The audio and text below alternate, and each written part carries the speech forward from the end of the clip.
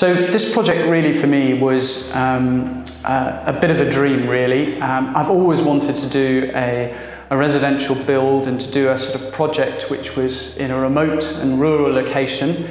Um, I wanted something that was um, within striking distance of London but also was real wild countryside with mountains and rivers and forests and streams and um, set apart from, from, from other houses. I saw this derelict barn up for sale with some land um, in North Wales and um, very ambitiously, as I now realise, bought it without planning permission and, and set about um, designing exactly what I was going to do with it. Um, but I built up over a number of years a sort of scrapbook of ideas, as people do, um, of all the little sort of elements that I wanted to put into a build but whilst maintaining the sort of um, the historic elements of the building and trying to put those ideas sensitively against um, the um, uh, material and the and materials and the style that was um, had attracted me in the first place.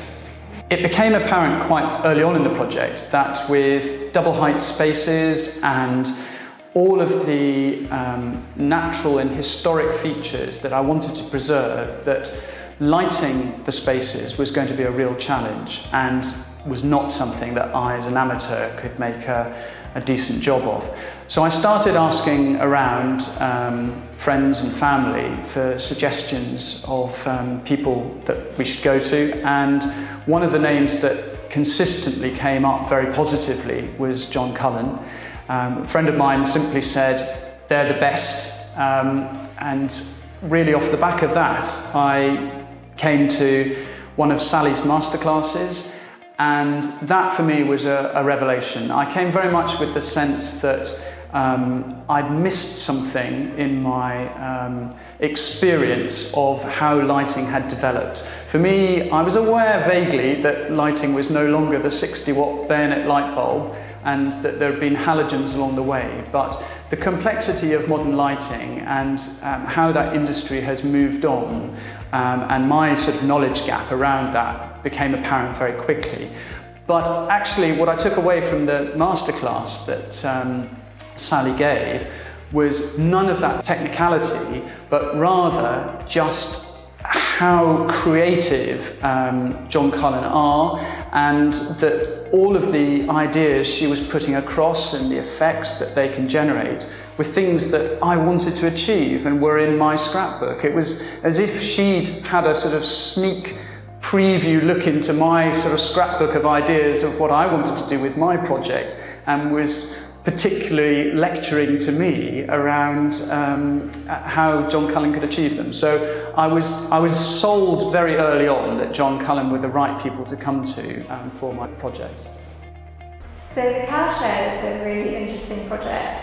Um, Simon brought it to me as a tumble down shack right in the middle of nowhere. All I knew was that it was quite small, never been lived in before, and it's in the middle of Snowdonia. So I came with an open mind, um, and I wasn't disappointed.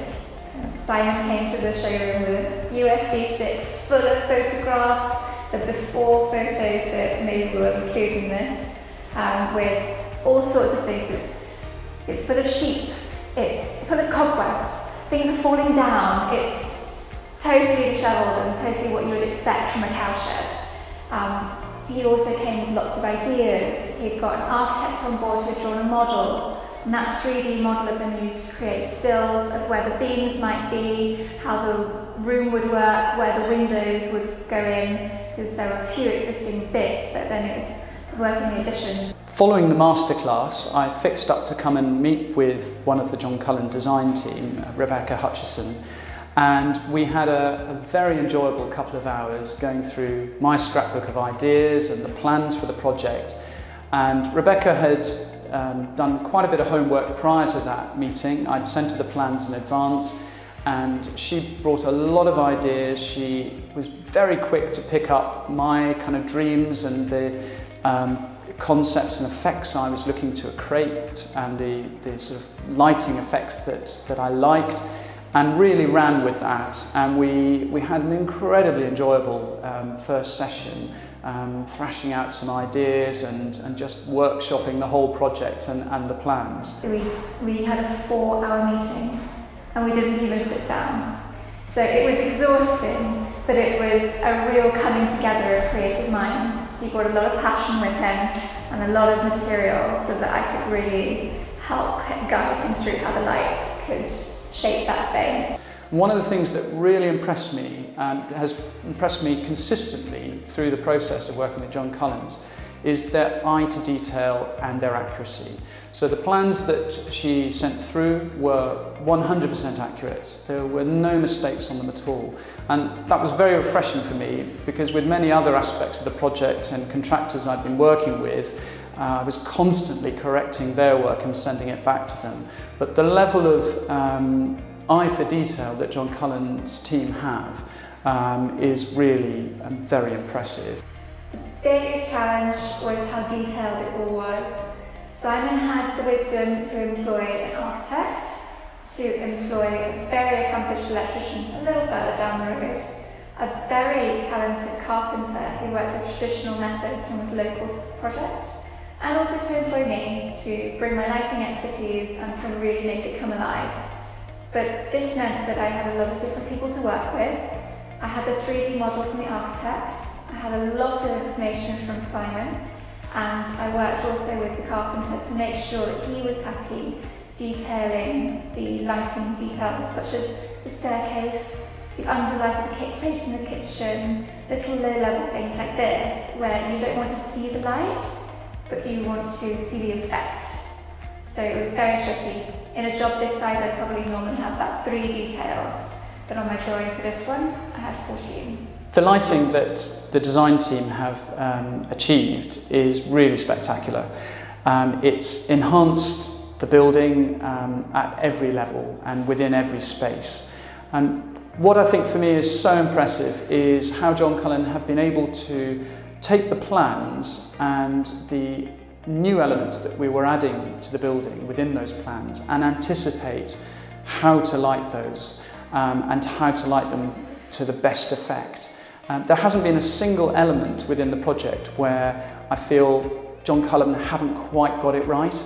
And I think the, the level of experience that the team have is, is clear in that, that they're able to work off plan with spaces and with photographs as well um, to achieve you know, everything you wish for in a project. And it, it has achieved everything that I wished for and more.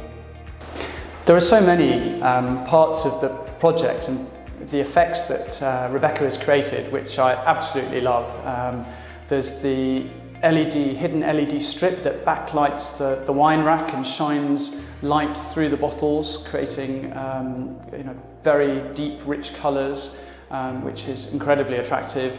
Um, there's also the, the use of LED strip as, a, as an uplight at the top of the walls, highlighting the stone um, and within the kitchen, um, at the, the top of the curved wall and at the kick plate um, and under the breakfast bar.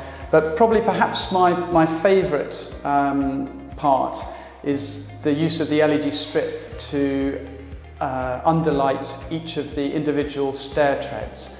It just creates a fantastic um, effect and the staircase looks straight out of Hollywood um, and you, just feel you're in a classy establishment really um, looking at that I think.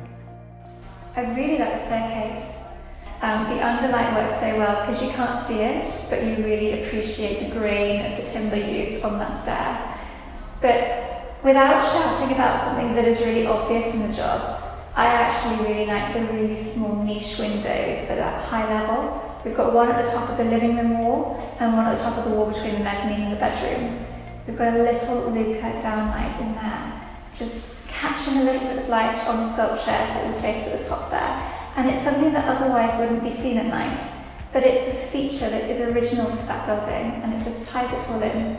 It's a lot of work to get it there, and this is why it's so important to work with contractors the whole way through, to have them on board with the job and to get them familiar with those products so that they're happy using them. It was a really nice little thing to include. The lighting has um, been a fantastic success. everybody who comes to visit, family and friends, are just completely blown away um, by the building, but it's the lighting which really sets off the building and creates the atmosphere. You just see the light and you feel the light in the building without really sensing where it's coming from. It's, um, it's really quite emotional when it's all finished and you, you see the results of that journey. The lighting within all of the spaces is consistently everything I wished for and more. The flexibility of the lighting is, is so varied as well. You can use it to create different moods and different effects, but all within a sort of a palette in a, in a, and in a tasteful way, which is never um, ostentatious and, um, and just lighting for the sake of um, a lighting effect. It's, it's all very much um, created to enhance the, the, sort of the natural aesthetic of, of the building rather than to, to take over and dominate it. It was very much a less is more approach. Some jobs can really, you can really throw everything at it and it, it shows off not only the architecture but also the character of the building and the character of your client. So you can make something really unique in every job. But this one really was about the view during the day and the architecture at night. But that architecture wasn't something really modern, it wasn't something very strong in an industrial sort of sense. It was a soft ex-agricultural building. It had movement, it had character, it had lumps and bumps. So it was those little features that were nice to, to highlight. The spotlights on the beams, just the most stunning timber, really well cleaned up, um, and just highlights like that that really worked well. I would undoubtedly recommend uh, coming to John Cullen's for any project really. Uh, I think one of the, the great things about John Cullen's is that their staff, as I've said, are incredibly intelligent, but they're very intuitive about getting to the, the root of, of what their customers' needs and um, dreams are really and realizing that within their budget. And I think, you know, regardless of the project, I think, you know, my project certainly wasn't um, the biggest I'm sure that they've ever done, um, but I know it wasn't also the smallest. And I think they're very clever at being able to tailor their services to their clients' needs, but also to their clients' budgets. So I would undoubtedly recommend them again to anybody. And I think it would be difficult to imagine that, there's that there are better people out there to go to.